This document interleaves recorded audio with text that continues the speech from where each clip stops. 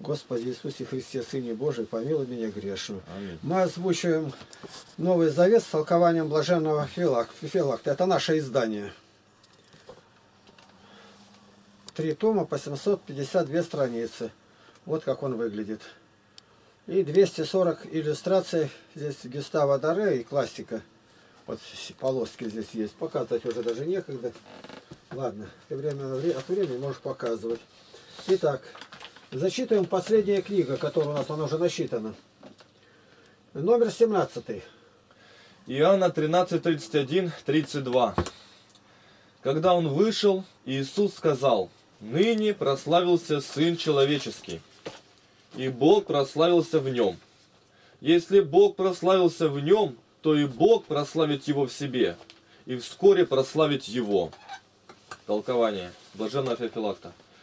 Убеждает их не сетовать, а лучше радоваться, ибо страдания и доставление посредством бесчестия, чести, людям составляют славу Его. Что значит Бог прославил Сына в себе? То, что прославит через самого себя, не через другого, не через ангелов и архангелов, не через другую силу, но через самого себя, ибо Он делал все для славы Сына.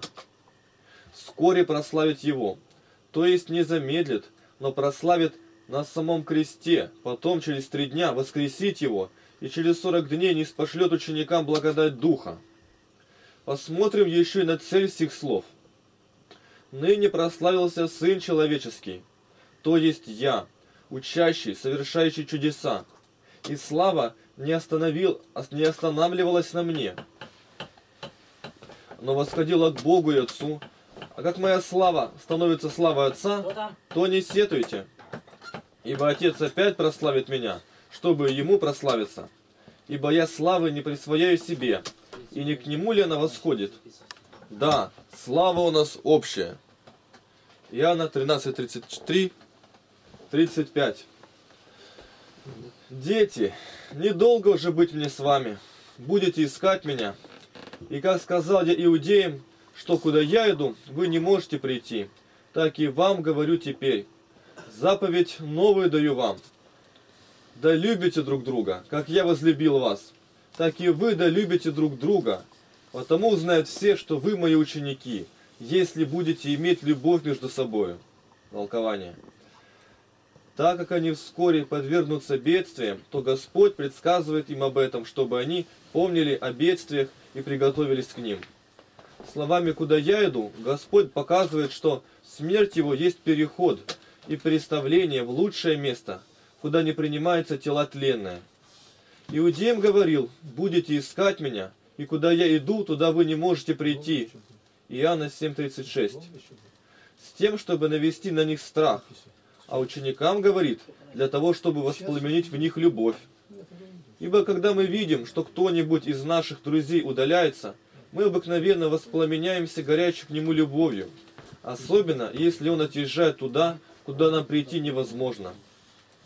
Итак, говорит это им, чтобы воспламенить в них любовь.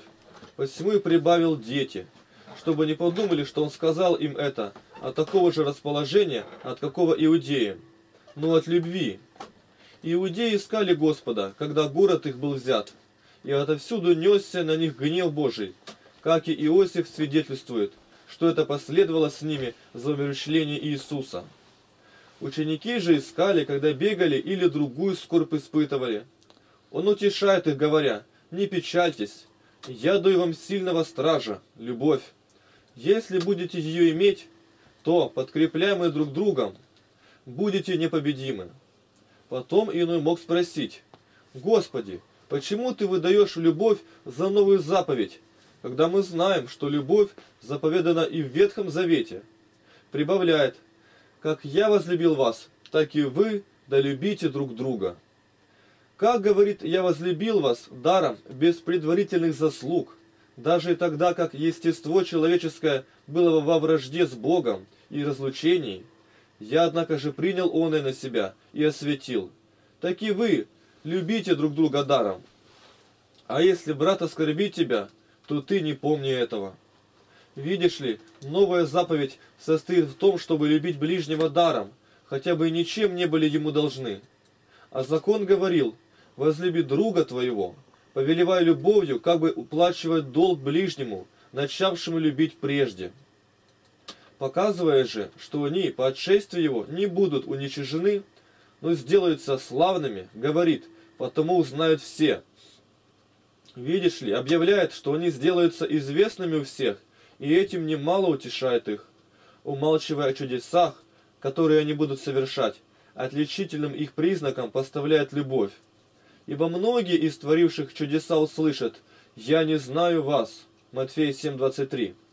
Если и вся вселенная чудесами была приведена к вере, что удивительного? Потому и была у них сила творить чудеса, что была у них любовь. А если бы они отстали и отделились друг от друга, то у них погибло бы все, и никто не поверил бы, когда бы они неистовали друг против друга, тогда как более чудо делало их достойными веры то, что у верующих одно сердце и одна душа. Деяние 4.32. Иоанна 13, 36, 38. Симон Петр сказал ему, «Господи, куда ты идешь?» Иисус отвечал ему, «Куда я иду, ты не можешь теперь за мной идти, а после пойдешь за мною».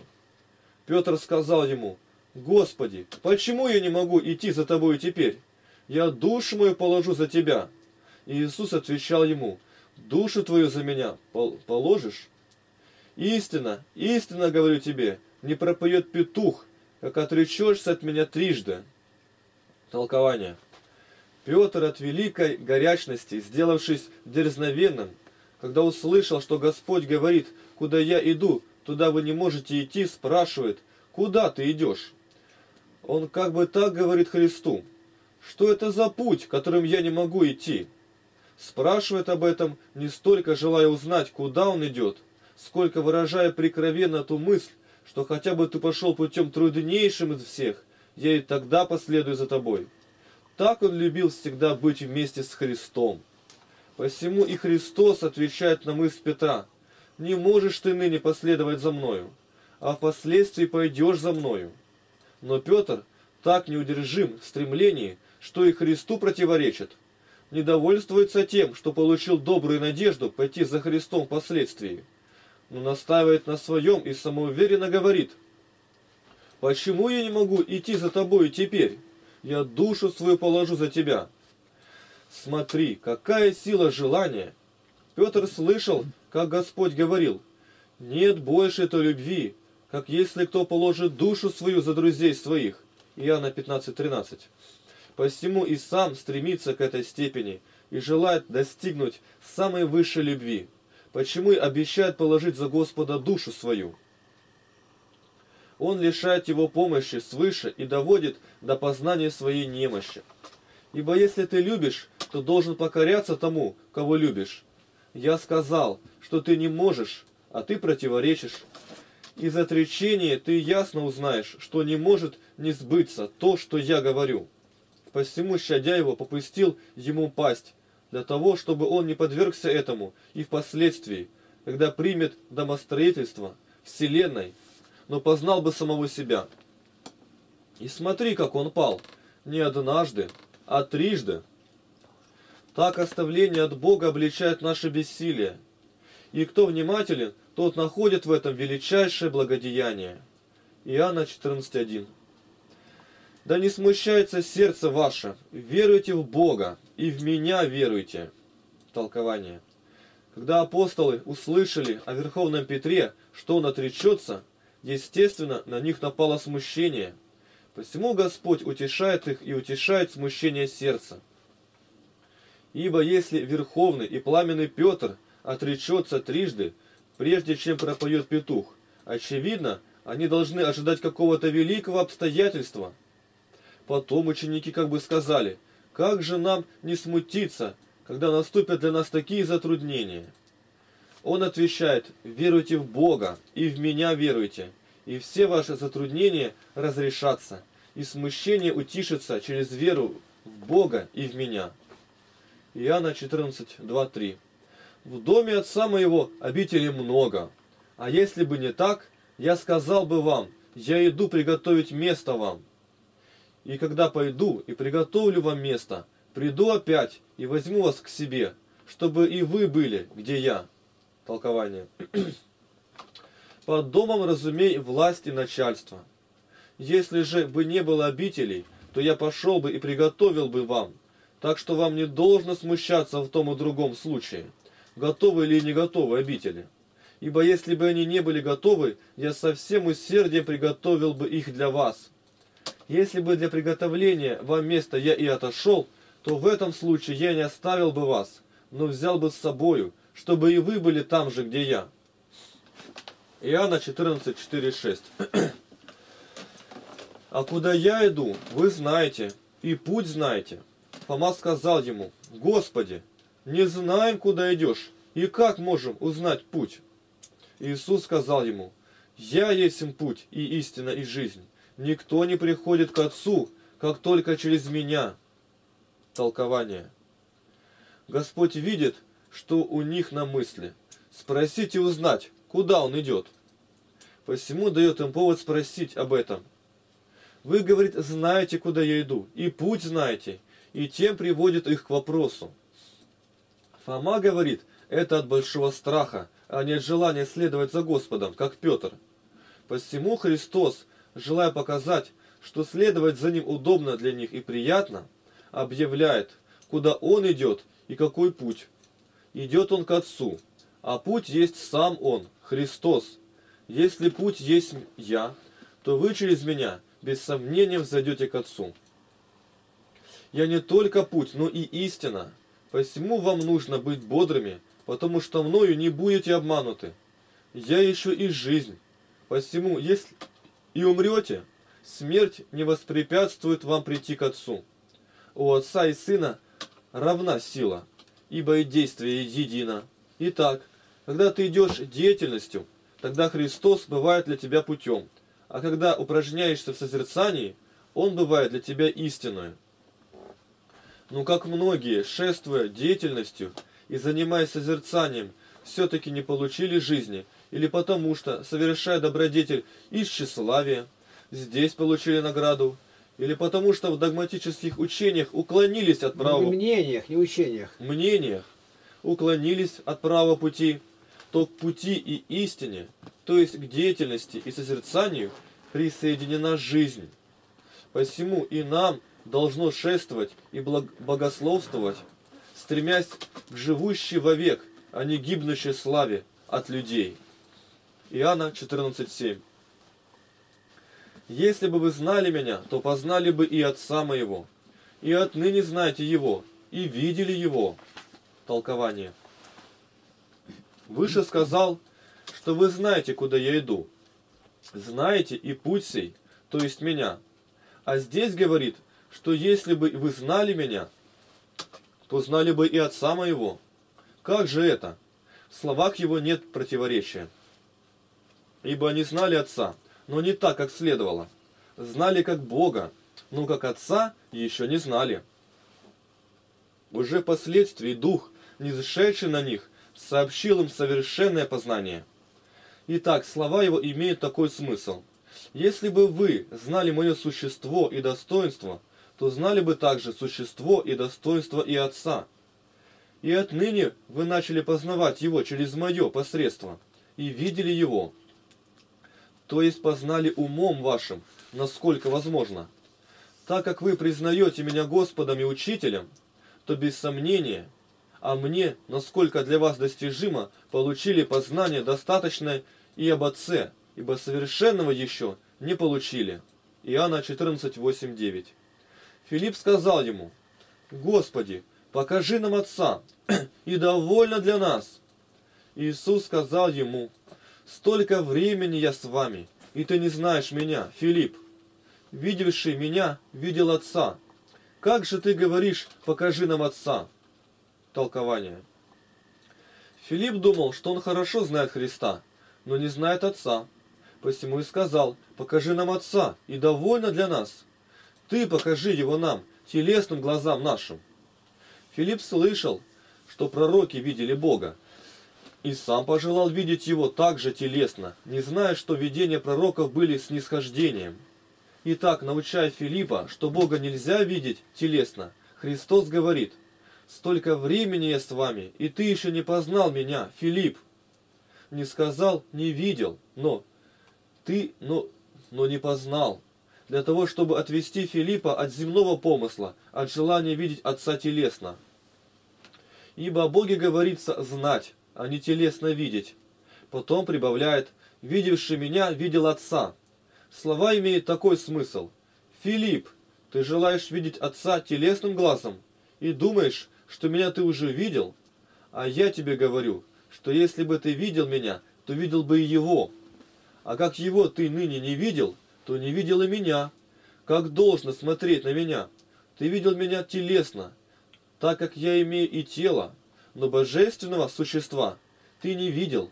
Посему ты не можешь видеть телесно и существо Отца. Ни меня, ни Отца невозможно видеть телесно, ибо видевший меня видел и Отца. Впрочем, многие думают, что видят меня, а Отца не видят. Посему меня они видят не по божескому естеству, но по человеческому. Можешь и яснее понимать так. Я единосущен Отцу. Итак, кто меня видел, то есть познал, тот познал Отца.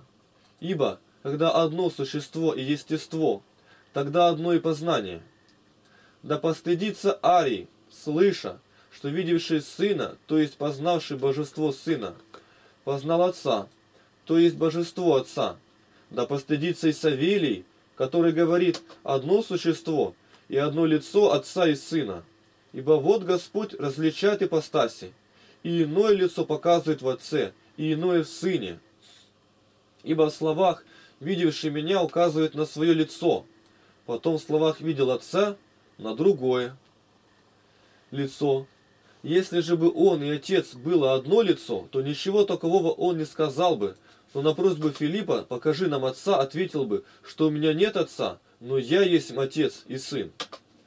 И было бы крайне неразумно слышать, как Сын говорит «иду к Отцу моему, и я в Отце», и многое тому подобное, и не понимать, что иное лицо Сына иное Отца.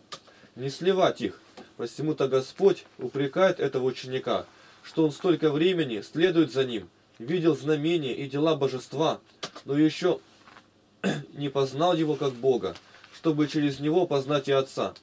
Ныне же говорит, из того, что ты желаешь видеть Отца телесно, открывается, что ты не веруешь не тому, что я Бог, не тому, что Он Бог. Иоанна 14, 10, 11.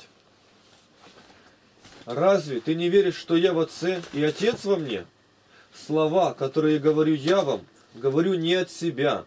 Отец, пребывающий во мне, Он творит дела. Верьте мне, что я в Отце и Отец во мне. А если не так, то верьте мне по самым делам. Толкование. Сын в Отце, так как является в его существе, и опять Отец в существе Сына, подобно как царь, является в образе своем и образ в царе. Ибо одни черты образа и у царя, а что мое и отчее существо одно, это ясно. Ибо слова, которые говорю я, говорю не от себя, то есть говорю их не иначе, но как сказал бы Отец, так и я говорю, потому что я не имею у себя ничего особенного, отдельного от Отца, но все общее.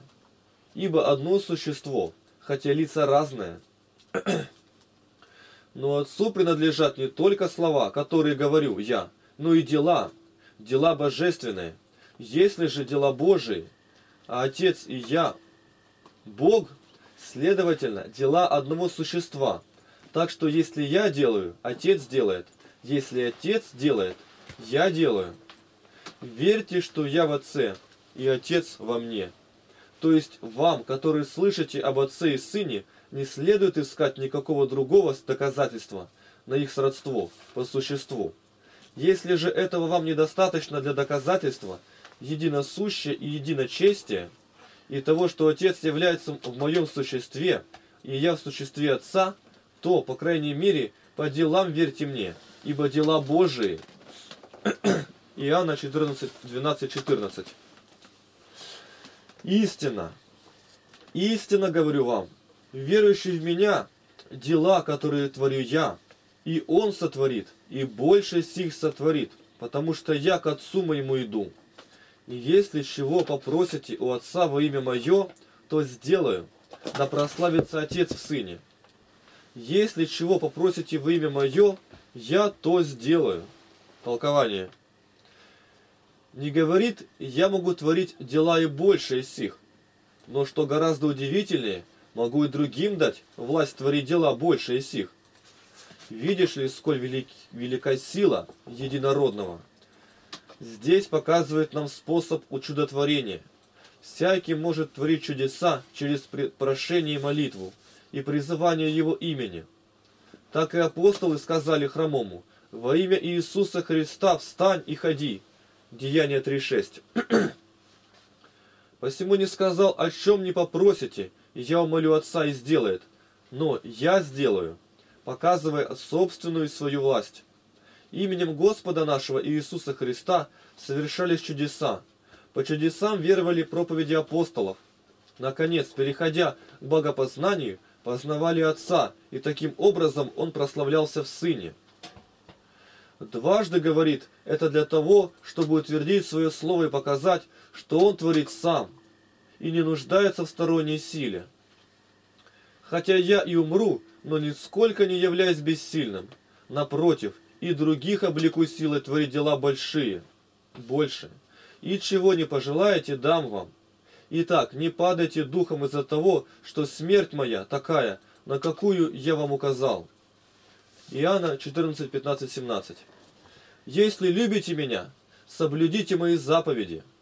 И я молю Отца, и даст вам другого утешителя, да пребудет с вами вовек, Духа истины, которого мир не может принять, потому что не видит его и не знает его, а вы знаете его, ибо он с вами пребывает, и в вас будет. Толкование. Слыша, что будут им оставлены, они, естественно, могли опечалиться и смутиться душами. Он говорит, любовь ко мне состоит в то, не в том, чтобы печалиться и смущаться, но повиноваться моим словам. Я дал вам заповедь не бояться убивающих тела, Матфея 10, 28. Если вы любите меня, то соблюдите ее и уже не скорбите из-за моей смерти. Ибо я попрошу, то есть умолю Отца, и Он пошлет вам иного утешителя, иного, но такого же, как меня. Да постыдится сих слов Савелий, который говорит, что одно лицо Отца и Сына и Святого Духа. Ибо вот, слушай, пошлет иного утешителя, значит, лицо Духа иное. Да постыдится Македоний, который говорит, что Дух иного существа и ниже Сына. Ибо слушай, и Дух есть утешитель, подобно как и Сын. Итак, Дух есть утешитель, подобно как и Сын. Дух, единосущный Сыну, без сомнения, единосущен и Отцу, ибо Отец и Сын одного и того же существа. Не удивляйся, если Он говорит «Я умолю Отца», ибо Он не просит как раб, но для того, чтобы уверить учеников, что к ним непременно придет Дух и Утешитель, снисходит к ним и говорит «Я умолю Отца». Ибо если бы Он сказал «Я пошлю», то они не столько поверили бы, а теперь, чтобы сделать свое слово достовернее, говорит «Я умолю Отца». То есть, если будет нужно и просить, и молить, то я всячески постараюсь о том, чтобы Дух пришел к вам. Это подобно тому, как и мы нередко говорим, «Я жизнь свою положу, чтобы случилось то и то». Хотя часто дело не требует большого старания, однако же мы говорим таким образом, желая показать, что не откажемся от страдания. Иначе, так как Господь за нас сам себя принес в жертву Отцу, умилостивив Его своей смертью, как первосвященник, и затем по истреблении греха и прекращении вражды пришел к нам Дух, посему-то Он говорит, «Я умолю Отца и даст вам утешителя», то есть «Я умилостивлю за вас Отца и примирю Его с вами, враждебными Ему по причине греха». И Он, умилостивленный моей смертью за вас, и примиренный с вами, пошлет вам Духа. Да пребудет с вами вовек. Сказал это также в утешение их. Пришествие Его не таково, как мое, оно не на время только, но продолжится до века. Он не оставит вас и по смерти вашей, но прибудет с вами и прославит вас. Он и со всеми святыми всегда пребывает, даже и по смерти их. Тем более, что они тогда еще более возвышаются над плотскими страстями. Дух истины говорит, что есть дух не Ветхого Завета, ибо он образ и тень, а нового, который есть истина. Имели духа и те, кои жили под законом, но имели в образе и тенях, а ныне, можно сказать, истина сама существенно снизошла к ученикам. А чтобы не подумали, что и дух, подобно ему, воплотится, говорит, что мир не может принять его. Он говорит, будет учить вас не так, как я, ибо мир не может принять его телесно. Он будет обитать в самых душах ваших. Иначе не может принять его мир, то есть люди порочные и мудрствующие мирское, потому что не видят его, то есть потому, что существо его необъятно. Ибо под видением разумеет здесь созерцание умом. Почему и прибавил, и не знает его. Очевидно, словом «не видит» он выразил то, что не знает. Итак, он утешает апостолов, когда говорит, что мир не может принять его. А вам подастся этот превосходный дар и прибудет с вами, и что еще более, прибудет в вас. Ибо словом «с вами» указывает на внешнюю помощь от близости, а у вас на внутреннее обитание и укрепление. Это же показывает, что Он есть Бог. Ибо Бог говорит, «Вселюся вас и буду ходить».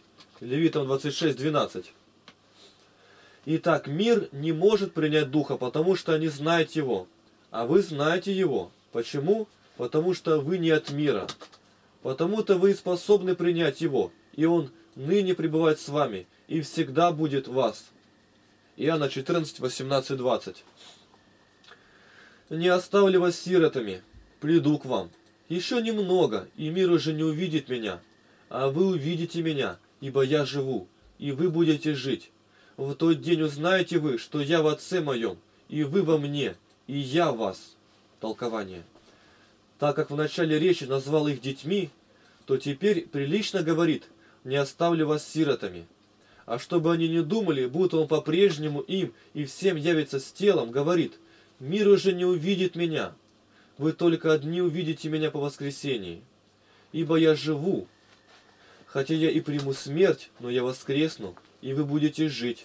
То есть, увидевши меня, возрадуйтесь, и как бы после смерти оживете от моего явления. Или так. Как моя смерть послужила к жизни, так и вы, хотя умрете, оживете. Итак, не скорбите ни обо мне умирающим, ни сами себе. Ибо если и умрете, оживете в будущую жизнь. В тот день узнаете вы, что я в Отце моем, то есть, когда я воскресну. Тогда вы узнаете, что я не отделен от Отца, но имею одну и ту же силу. И вы во мне, то есть хранимы мною, и я вас, то есть я с вами, избавлю вас от скорбей, совершаю через вас чудеса, вообще прославляю вас через все. И иначе, я в вас, как глава в членах, ибо апостолы, члены Христовы, 1 Коринфянам 3.23, и вы во мне, как члены в главе. Когда Он воскрес, тогда Он уяснил им познание обо всем этом. Ибо по воскресении благодать Духа научила их всему. Отец послал Сына в том смысле, что Он, будучи бестелесен, воплотился, родившись от Девы. Иоанна 14, 21, 22. Кто имеет заповеди мои и соблюдает их, тот любит меня. А кто любит меня, тот возлюблен будет отцом моим, и я возлюблю его и явлюсь ему сам.